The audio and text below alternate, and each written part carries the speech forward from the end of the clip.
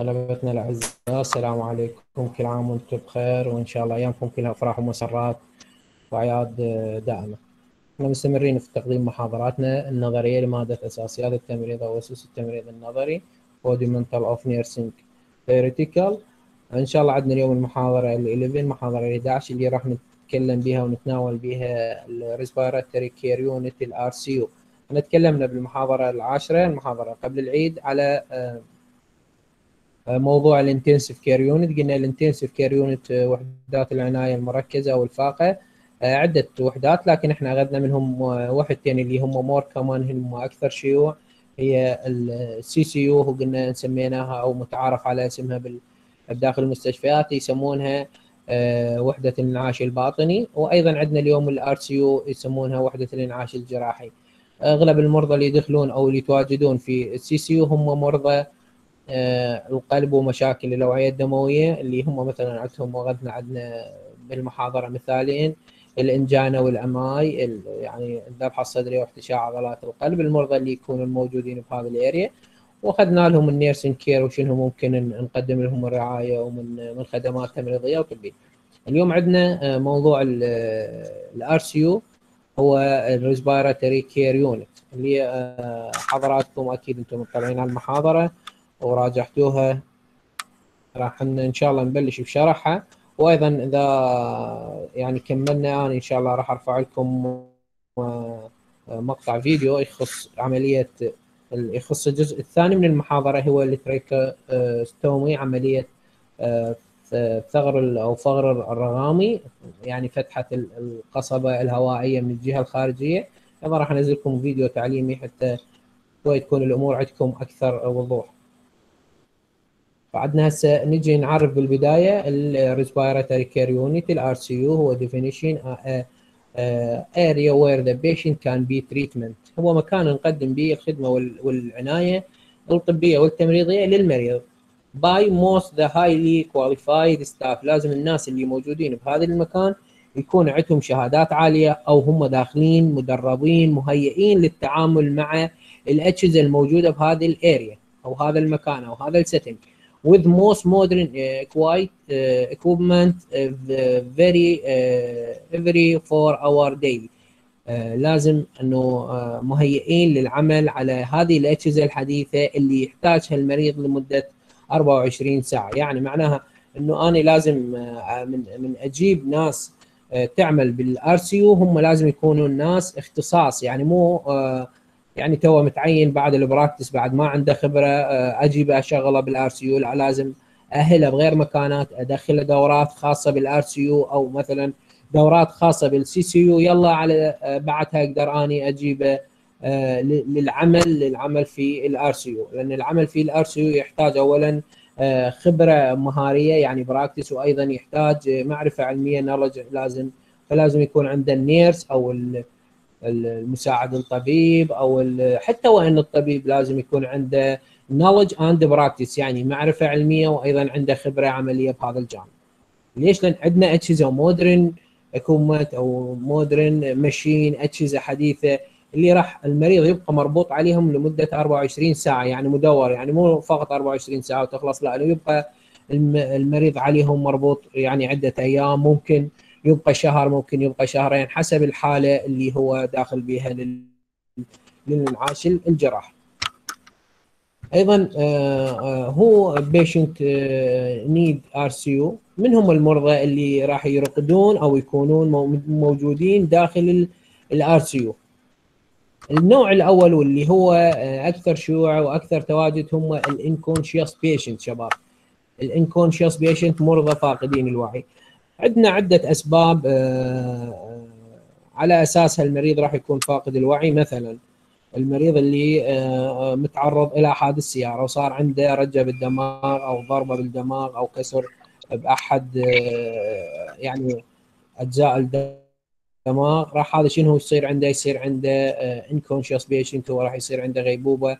ممكن هذه الغيبوبة تستمر لفترة أشهر ممكن تستمر لفترة يعني أنا أتذكر يعني في مرحلة البكالوريوس زرنا مستشفى الشماعية المريض حوالي ستة أشهر باقي فاقد الوعي. ستة أشهر هو فاقد الوعي إنه هو جاي يمشي وتكرمون الحذاء مالته بالكاشي زالقه فواقع مضروب عنده الجزء الخلفي من من النخاع الشوكي فصاير آه، فاقد الوعي فباقي هو بحالة شلل لمدة ستة أشهر. وبعدها تشافى بس من تشافى كان فاقد الذاكرة.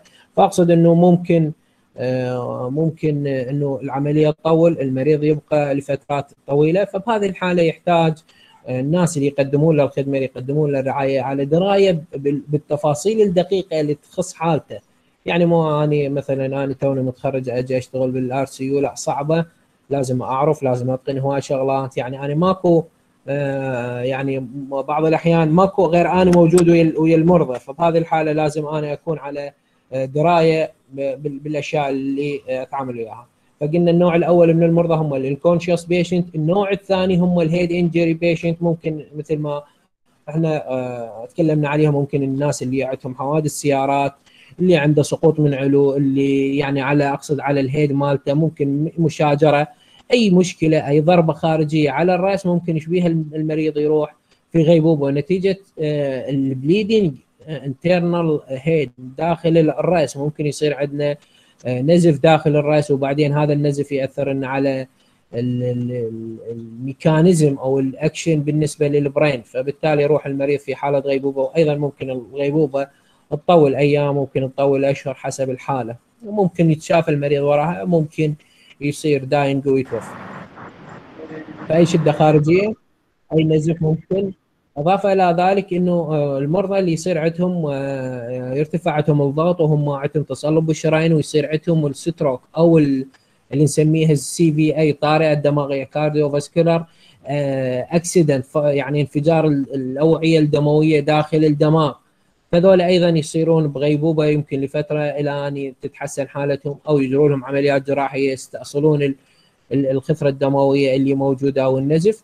إلى أن يرجع إلى وضعه الطبيعي. فهم ذول الفئتين هم أكثر أكثر فئة موجودة داخل ال RCU المرضى الفاقدين الوعي والمرضى المتعرضين على اللي يعني متعرضين للشدة على الرأس. المرضى فاقدين الوعي بعضهم يجي مثلا في حالة غيبوبة مثلا عنده ورم بالدماغ.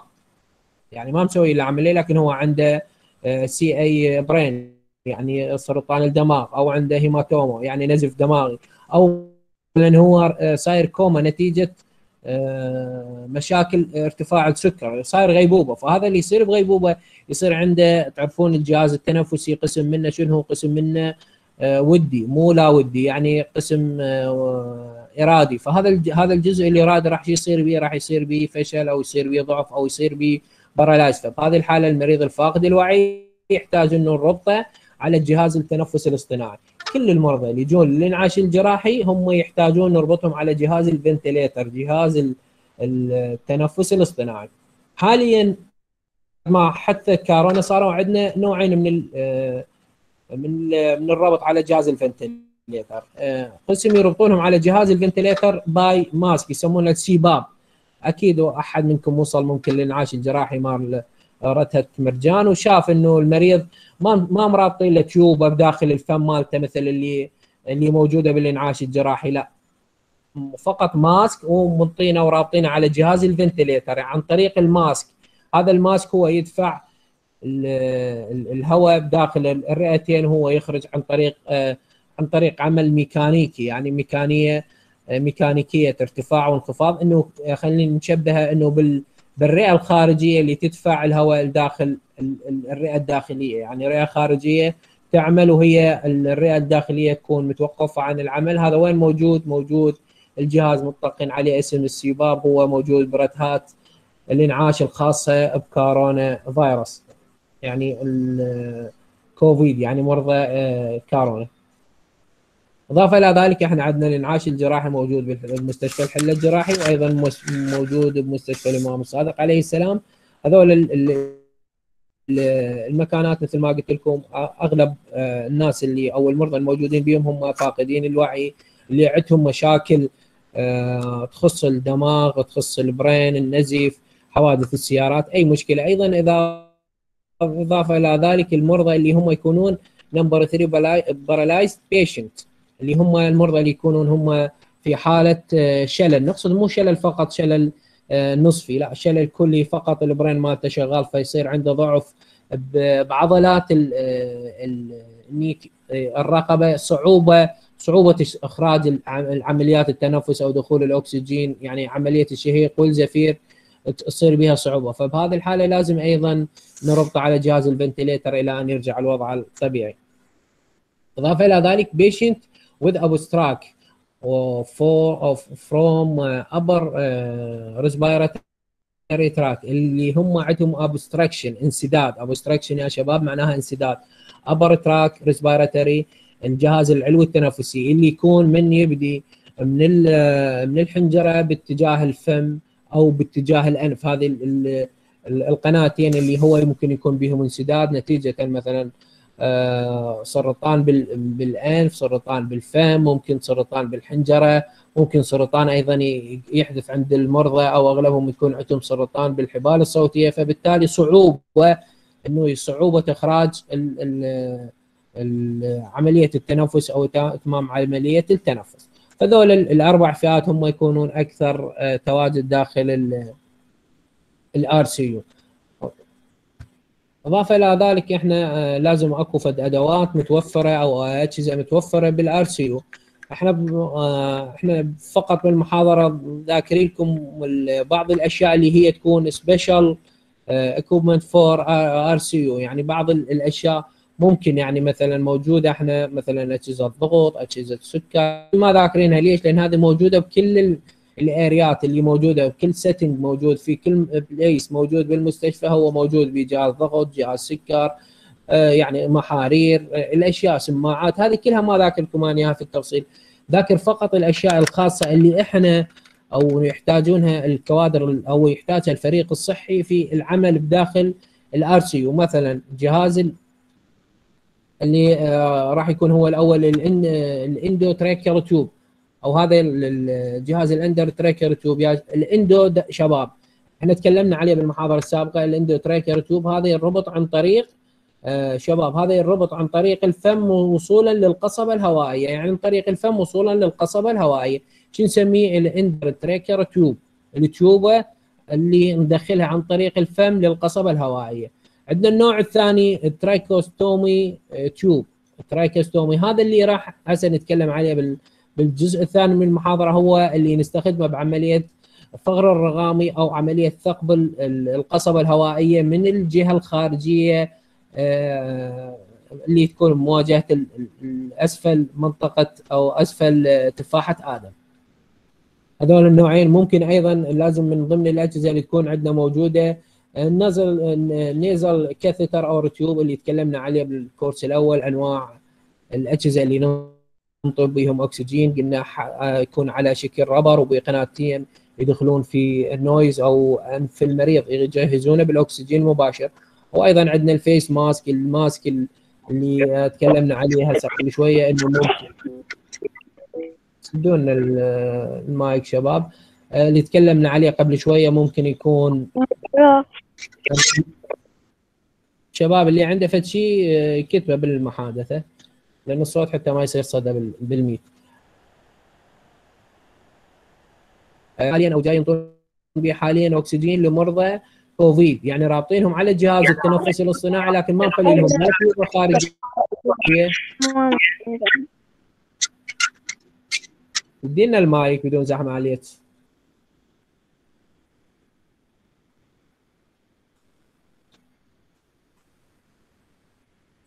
قلنا ال mask اللي حاليا ينطونه للمرضى اللي داخلين بالإنعاش الخاص بمرضى كورونا. mask نربطه بجهاز ال ventilator ينطينا أكسجين. إضافة إلى ذلك ممكن هسه صاروا عندنا إيش صاروا عندنا ثلاث أنواع من الأجهزة اللي نربط نربط بهم ال ventilator machine جهاز التنفس الاصطناعي للمريض. جهاز عن طريق ال mask وأيضا عن طريق ال endotracheal tube عن طريق ال tube المطاطية اللي ندخلها بفم المريض نزولا بال trachea وأيضا عندنا النوع الثالث اللي راح نتكلم عليه بتفاصيل أكثر ال tracheostomy tube يعني هذا اللي نستخدمه في عملية آه، فتح القناة التنفسية من الجهة الأمامية. دولة ثلاثة أجزاء وثلاثة أشياء ممكن آه، نحتاجهم داخل الإنعاش الرئوي. أيضا جهاز السكشن ماشين جهاز سحب السوائل وهذا أيضا موجود عندنا بداخل المختبر يمكن شفتوه أو قسم منكم ما شافه. جهاز نستخدمه بعملية شفط السوائل من داخل أعضاء الجسم يعني ممكن من البلعوم ممكن من التراكيا أيضا نستخدمه بالعمليات الجراحية لشفط ال bleeding الدم أو ال blood الدم المجمع أثناء العملية الجراحية أو أثناء عملية الفتح. أضافة إلى ذلك ممكن نستخدم جهاز ال sucker بعملية ال washing عملية غسل الأحشاء. إذا ممكن ننظف أي شيء نقدر ندفع fluid مثلا عندنا عملية فتح بطن ممكن ندفع ال fluid من داخله هو يكون بتيوبين وبجهاز سحب وجهاز دفع ممكن ندخل السوائل داخل الأحشاء الداخلية للمريض وبعدين نسوي لها عملية شفط يعني ممكن نغسل محتويات إذا أكو دم أكو في شيء ممكن إنه نغسله بجهاز ال sucker. أيضا عندنا الجزء السادس والمهم هو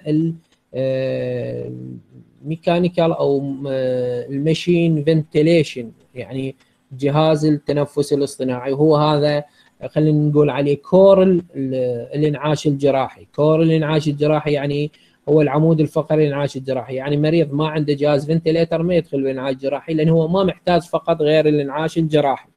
واضح؟ فهو هذا خلينا نعتبره the first step بالنسبة لل equipment بالنسبة للإنعاش الجراحي. هذول الأدوات اللي إحنا راح نحتاجهم بداخل الانعاش الجراحي وممكن على أساسهم ندخل المريض. يعني إحنا إذا ما عندنا جهاز ventilator ما راح نقدر ندخل المريض لأن ما راح نقدر نقدم له خدمة. هو عنده مشكلة بعملية التنفس. هو عنده paralyze عنده هو مثلا عنده كوما عنده unco أو هو unconscious ممكن هو عنده bleeding بالدماغ.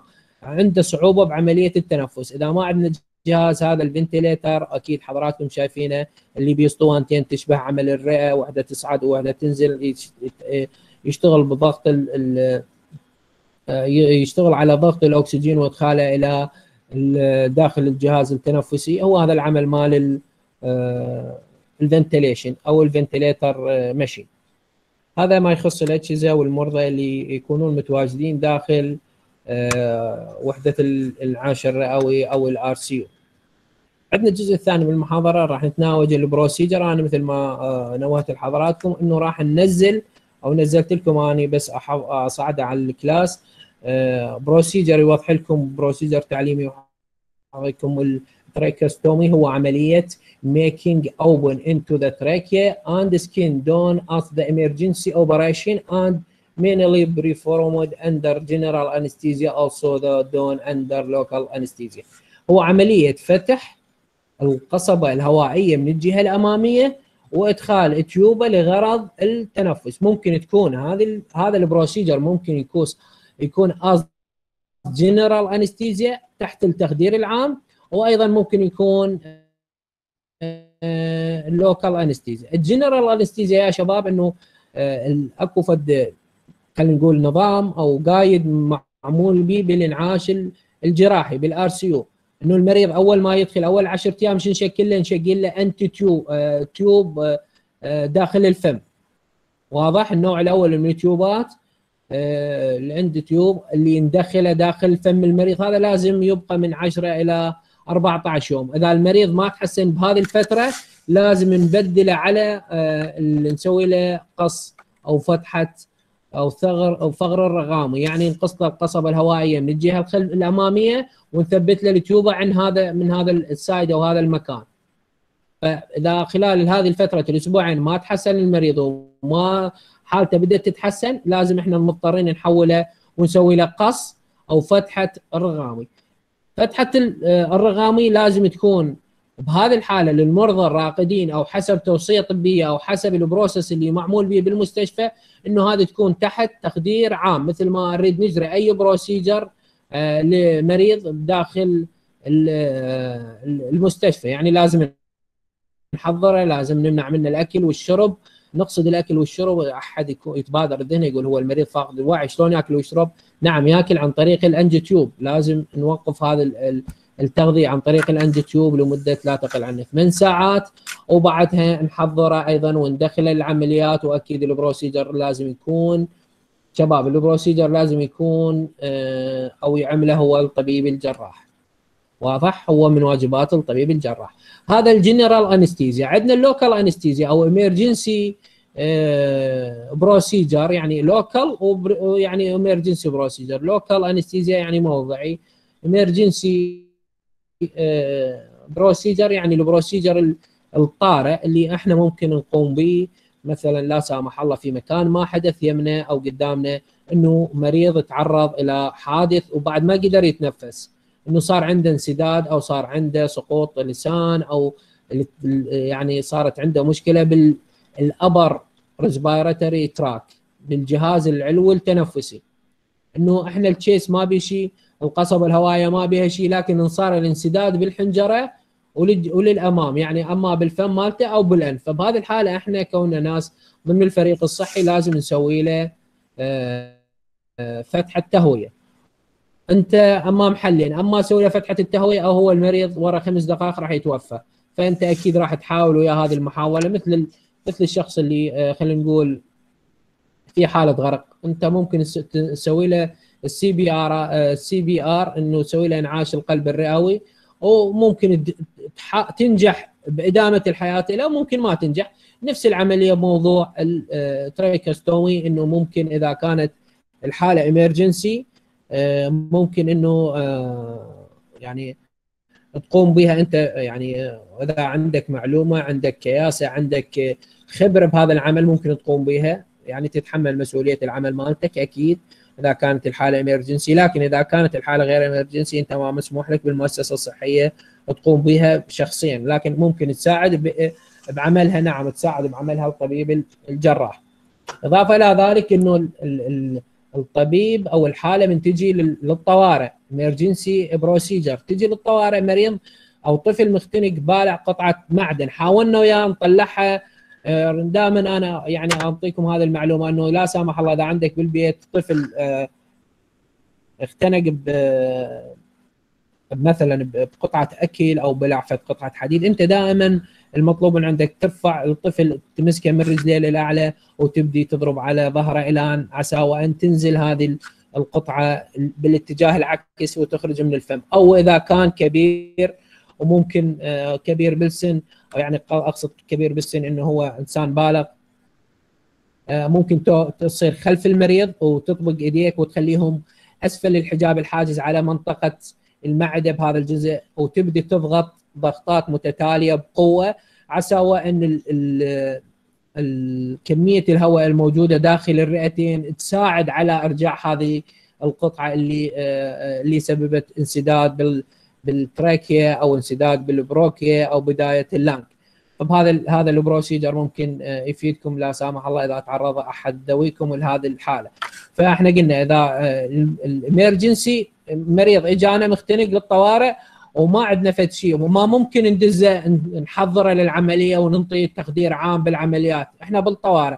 فبهذه الحالة لازم نسوي له local anesthesia نسحب xylocaine بالسرنجة ونخدر مكان اللي راح نسوي به incision نسوي به فتح آه، بالمشرط وننطي تخدير موضعي حتى نقلل من الأذية والألم. شلون يكون ال incision شلون تكون عملية الفتح؟ الفتح يكون horizontal يعني طولي وراح يكون transverse يعني عرضي. المقطع الطولي بس 2 آه، سنتيم آه، تحت Adam apple تفاحة آدم يعني تحت الحنجرة تحسب آه، سنتيمين وتبدي بعملية الشق هذا ال procedure. وإلى أن يعني تستمر للسنتيم الخامس يعني يصير من حوالي ثلاث سنتيمات عرض أو طول الفتحة. هذا الطول الفتحة راح تكون أو العملية راح تكون على شكل حرف زائد. الطول 3 سنتيم والعرض راح يكون بين ال ring الثالث وال ring آه، الثاني والثالث أو ال ring الثالث والرابع أو ال ring الرابع والخامس. هسه حضراتكم تقولون شنو ال ring هسه أريد من الكل اللي يسمعوني أو المتواجدين بالمحاضرة يتحسسون بعد الحنجرة هذا النتوء اللي طالع من الزردوم مالتنا والبلعوم راح تحس أكو حلقات. هذا نطلق عليها cartilage ring أو ال ring الغضروفي أو الغضاريف اللي اللي تكون من عدها القصبه الهوائيه فنحسب ال ring الأول نتركه. ال ring الثاني بين الثاني والثالث ممكن نسوي الفتحة. وبين الثالث والرابع أيضا وممكن بين الرابع والخامس. صار شو عندنا؟ فتحة طولية تبدأ من السنتيم الثاني وتنتهي بالسنتيم الخامس أو قريب على ال sternum عظم القص وفتحة آه، عرضية اللي تكون بين آه، بين الغضاريف الدائرية بين الثاني والثالث أو الثالث والرابع أو الرابع والخامس. فصار عندنا على شكل آه، زائد الفتحة. نجيب قطعة التشوبه هي موجودة قطعة وأيضا على على الإيج مالتهم وعلى الشكل عندنا سبع أنواع. حسن إن شاء الله راح تشوفونها بال بالفيديو اللي نزلت لكم اياه سبع أنواع موجودة داخل أو ممكن نستخدمها حسب العمر وحسب الحالة. ممكن تكون دائمة ممكن تكون آه، العملية مؤقتة. نستخدمها وإضافة إلى ذلك نبدي إن نثبتها بالطبقات الجلد الخارجية بعد ما نتأكد من ربطها بصورة صحيحة وتثبيتها بصورة صحيحة وندخل التيوبه داخل القناة التنفسية داخل التراكيا ونتأكد إنه هي صايرة خلينا نقول آه، في محلها الصحيح يعني عند تراكيا. وأيضا آه، آه، القطعة اللي راح نربطها أيضا تحتوي على سدادة خارجية راح يستخدمها المريض لأن تعرفون إذا المريض عنده فتحة منها ما راح يقدر يتكلم ليش؟ لأن الهواء راح يخرج من الفتحة ما راح يصعد للحبال الصوتية حتى يصدر نبرات الصوت فمن إحنا بعض الأحيان المرضى عندهم مشاكل لكن هم آه، ممكن إنه آه، يعني نفهم عليهم بعض الكلمات فبهذه الحالة المريض إيش راح يسوي؟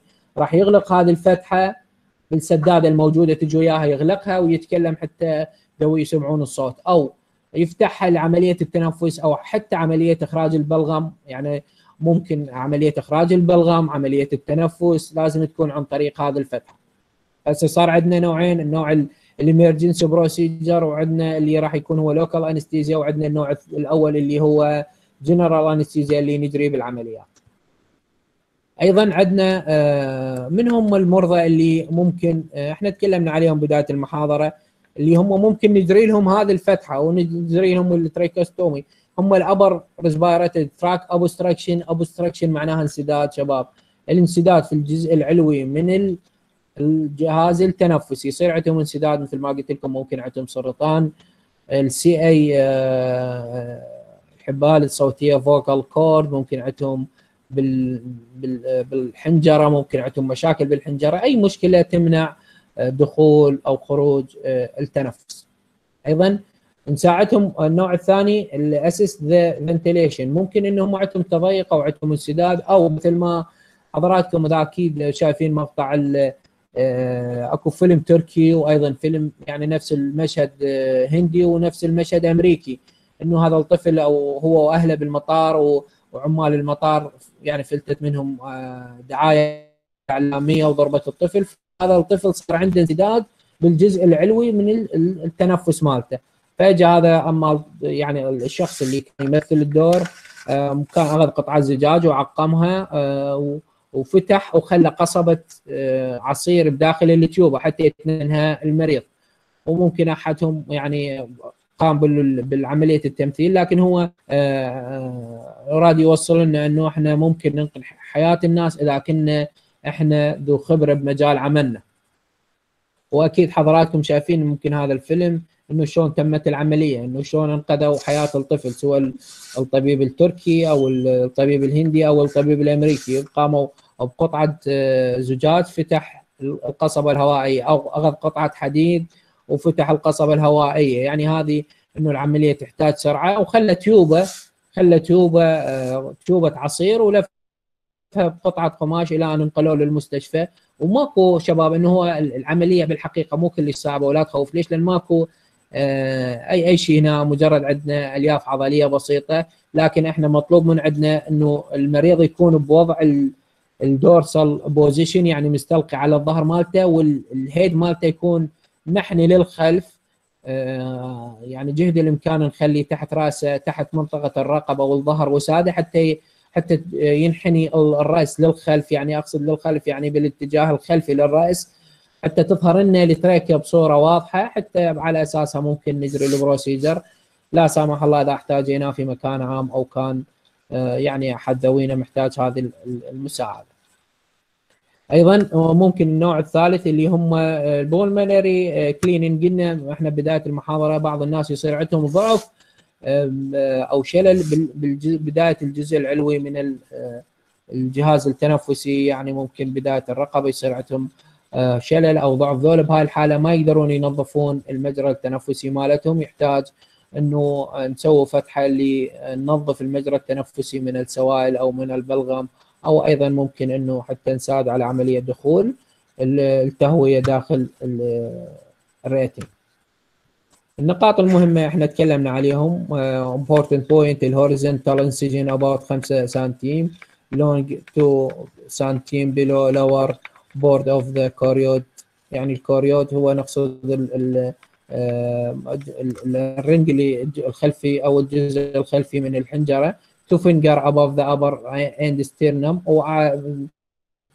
صبعين أعلى من عظم القص نهاية عظم القص وال transverse قلنا يكون بين ال cartilage number between 2 and 3 tracheal ring or below that ممكن يكون بين الثاني والثالث أو الثالث والرابع أو الرابع والخامس.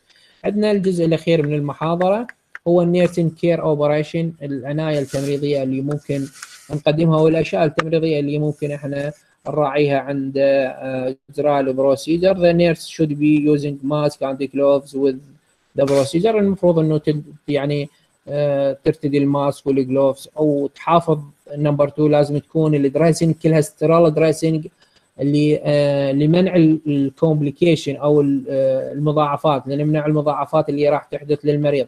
أيضا إضافة إلى ذلك put the patient semipolar position لازم يكون المريض بوضعية semipolar position يعني شبه الجالس بزاوية 40 45 إلى 30 حتى شنو الغاية من هذه الوضعية؟ هو stimulate respiratory anti prevent edema نحفز الجهاز التنفسي ونمنع تكون الاودما داخل الرئتين. إضافة إلى ذلك إنه تعرفون حضراتكم إنه وضعية الجلوس تساعد أكثر على عملية التنفس بحكم إنه الاحشاء الداخلية للابدومن راح وين تكون نازلة بالاتجاه السفلي.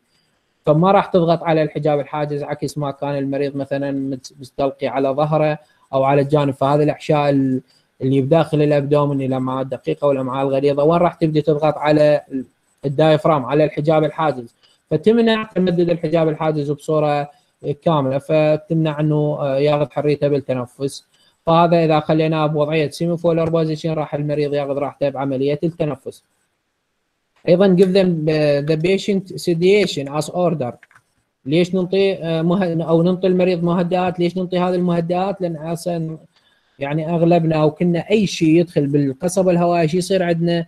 يصير عندنا كف عمليه قحة، ليش هذه القحة؟ نتيجة منعكسات تمنع دخول أي أي شيء داخل القصبه الهوائيه أو هسه إحنا من يصير عندنا بلغم ليش نبدأ نقح؟ لأن هذا يعتبر الجسم أو تعتبره ال trachea هو جسم غريب فتريد تطلع على الخارج فإحنا أتوقع إنه أنت مدخل تيوبه طولها يعني 10 سنتيم داخل القصبه الهوائيه فأكيد أكو منعكسات reflex منعكسات القحة مالتك راح تكون وين موجودة آه بعد ما نثبت ال trachea للمريض فهذه المنعكسات إيش يحتاج نعطيها مهدئات حتى نقلل من تأثيرها على المريض أو نحاول نخفف منها حتى ما يبقى المريض يسعل وبعدين يصير عنده مشكلة ممكن يصير عنده نزف نتيجة ال incision الفتحة اللي سويناها هي.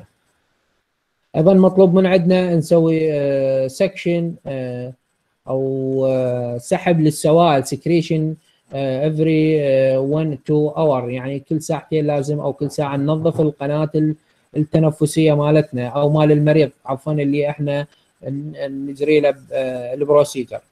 أيضا إضافة إلى ذلك observation closed بالنسبة لل patient. يعني observation patient closely إنه لازم يبقى المريض تحت المراقبة الكاملة لمدة حوالي 24 ساعة إلى أن يستقر وضعه إنه نشوف إذا ما عنده أي مشكلة أي deformity أو أي bleeding أو أي شحوب أي يصير عنده مثلا تسارع بعملية التنفس يصير عنده tachypnea أو عنده صعوبة بالتنفس ال breathing يكون shallow مالته في هذه الحالة لازم نخليه تحت المراقبة منعا لحدوث طارئ أو إذا حدث طارئ ممكن نتدارك الوضع.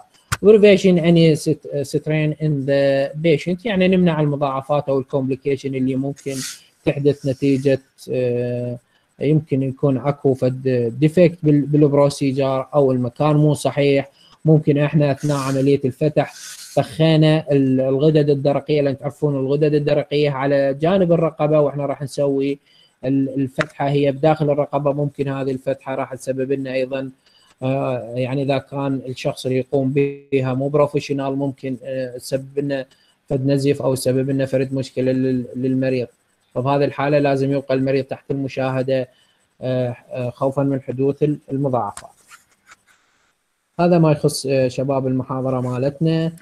يعني يخص الأجهزة يخص ال procedure اللي هو يكون أكثر شيوع بال RCU والأجهزة. أيضا المرضى اللي هم اللي راح يكونون آه، هم آه، أكثر تواجد بال RCU الانعاش الرئوي.